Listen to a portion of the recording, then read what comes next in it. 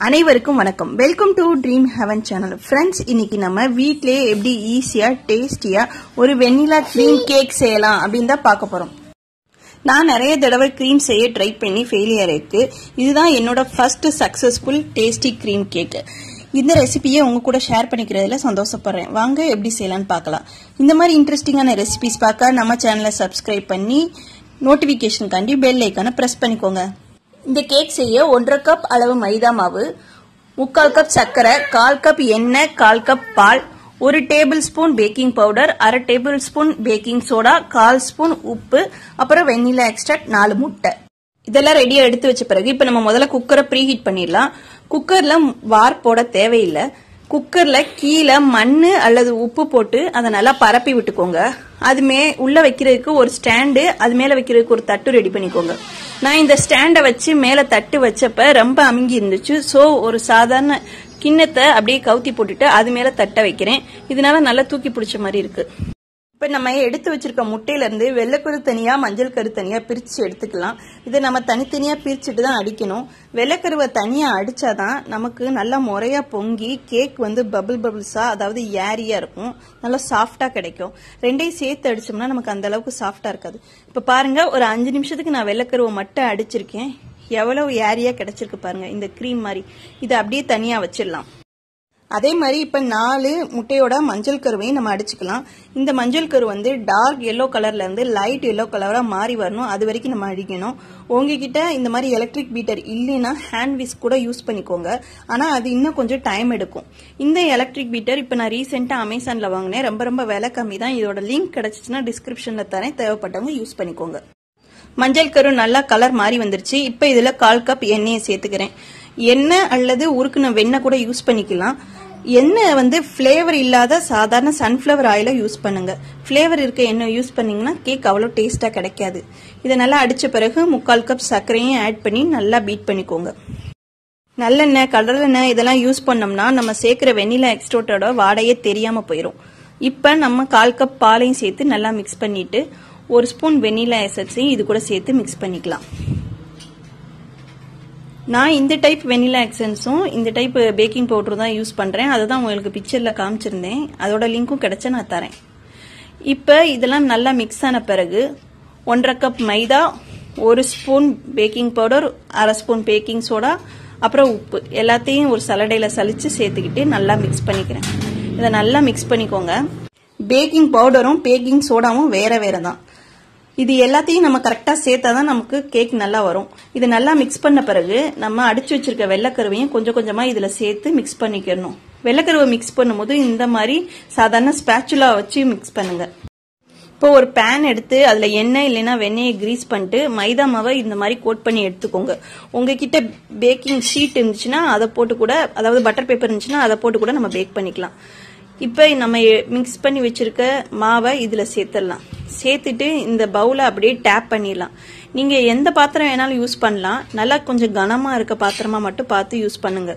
இப்போ கேக் பேட்டரை குக்கருக்குள்ளே வச்சு அப்படியே மூடி வச்சிருவோம். ஏற்கனவே இது பத்து நிமிஷம் ப்ரீ ஹீட் ஆயிருக்கு. கேக் வேகிறதுக்கு நாற்பத்தஞ்சு நிமிஷத்துலேருந்து ஐம்பது நிமிஷம் கண்டிப்பாக ஆகும். இப்போ நான் மேலே டெக்கரேட் பண்ணுறதுக்கு ஒரு சாக்லேட் கராஜ் பண்ண போகிறேன் இந்த சாக்லேட்டை குட்டி குட்டியாக கட் பண்ணிட்டு டபுள் பாயிங் மெத்தடில் அதாவது கீழே ஒரு பாத்திரத்தில் தண்ணி வச்சுட்டு அது மேலே ஒரு பவுலில் வச்சு சாக்லேட்டை உருக்க போகிறேன் இந்த சாக்லேட் நல்லா உருக்குறதுக்காகவும் டேஸ்ட்டாக இருக்கிறதுக்காண்டியும் இது கூட கால் கப் க்ரீம் சேர்த்துக்கிறேன். இப்போ கீழே வச்ச பாத்திரத்தில் தண்ணி கொதிச்சிருச்சு அது மேலே இதை இந்த பவுலை அப்படியே வச்சுக்கிறேன். இங்க கீழே வச்சிருக்க ஹாட் வாட்டர் வந்து பவுல டச் பண்ணக்கூடாது. டச் பண்ணாம அதோட ஆவி மட்டும்தான் இந்த பவுல்ல படணும். அந்த அளவுக்கு தண்ணியோட லெவல் கம்மி வச்சுக்கோங்க. அடுப்பையும் கொஞ்சம் சிம்லேயே வச்சுக்கோங்க. ஹைல வைக்காதீங்க. ஒரு அஞ்சு நிமிஷத்துல இந்த கராஜ் ரெடி ஆயிரும். இப்ப கேக் வெந்துச்சான்னு பார்க்கலாம். சூப்பரா வந்திருக்கு. கேக்கை வெளியில எடுத்து வச்சுட்டேன். அது ஆறுக்குள்ளேயும் க்ரீம் பண்ணிடலாம். நான் இந்த தடவை அமுல் விப்பிங் க்ரீம் தான் யூஸ் பண்ணியிருக்கேன்.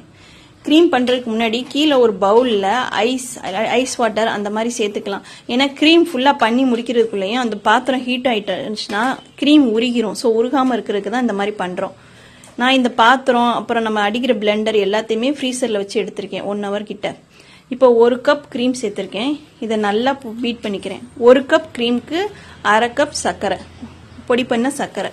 இது ரெண்டையும் சேர்த்து நல்லா பீட் பண்ணிக்கிறேன். இது பீட் பண்ணி நமக்கு க்ரீம் டோட்டலாக ரெடி ஆகிறதுக்கு பத்துலேருந்து பதினஞ்சு நிமிஷம் ஆச்சு. எலக்ட்ரிக் பீட்டர் வச்சே நமக்கு இவ்வளோ நேரம் ஆகுது. கண்டிப்பாக ஹேண்ட் விஸ்க் வச்சுருந்தீங்கன்னா ரொம்ப ரொம்ப கஷ்டம். ஆனால் கையிலேயே பண்ணலாம் மிக்சியில் பண்ணலாம்.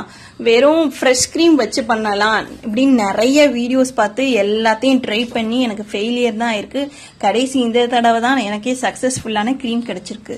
கொஞ்ச நேரம் பீட் பண்ணதுக்கப்புறம் இதில் ஒரு ஸ்பூன் வெனிலா எசன்ஸும் நான் சேர்த்துக்கிட்டு நல்லா பீட் பண்ணுறேன் உங்களுக்கு பீட் பண்ண பீட் பண்ண உங்களுக்கே தெரியும் அது நல்லா கொஞ்சம் ஸ்டிஃபாக அதாவது கெட்டியாக ஆரம்பிக்கும்.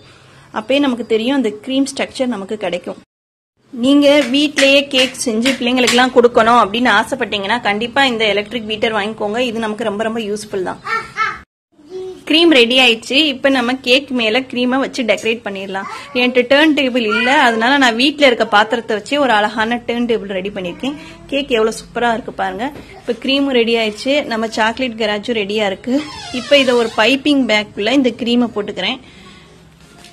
ஒரு நீளமான டம்ளர் இல்லைன்னா கப்பை வச்சு அதுக்குள்ள பைப்பிங் பேக்கை வச்சு க்ரீமை வச்சிங்கன்னா ஈஸியாக உள்ள வச்சிடலாம். மேலே கொஞ்சோண்டு பீஸை மட்டும் கட் பண்ணி எடுத்துட்டு இந்த கேக்கை நான் ரெண்டாக கட் பண்ணி எடுத்துக்கிட்டேன்.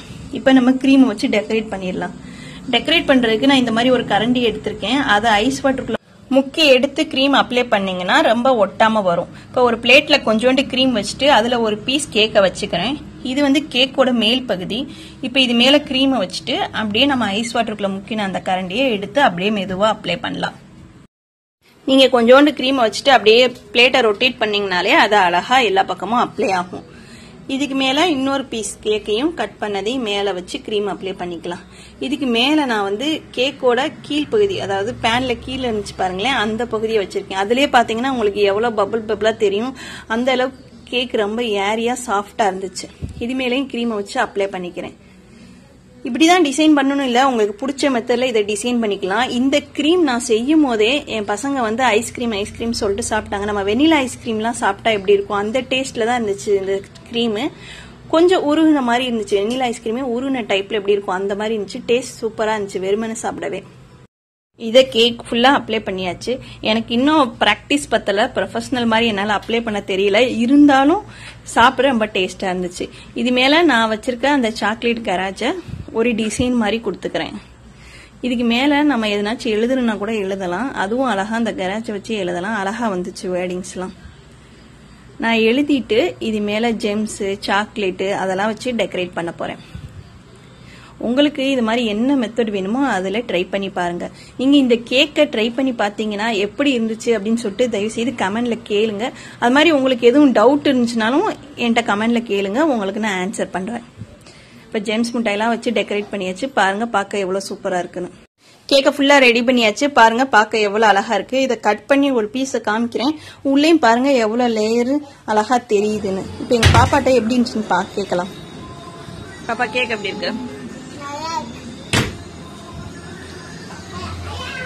ஃப்ரெண்ட்ஸ் இந்த வீடியோ உங்களுக்கு பிடிச்சிருக்குன்னு நம்புகிறேன் பிடிச்சிருந்துச்சுன்னா சப்ஸ்கிரைப் பண்ணி எங்களை சப்போர்ட் பண்ணுங்கள் உங்கள் கனவுகளும் மேம்படட்டும். நன்றி.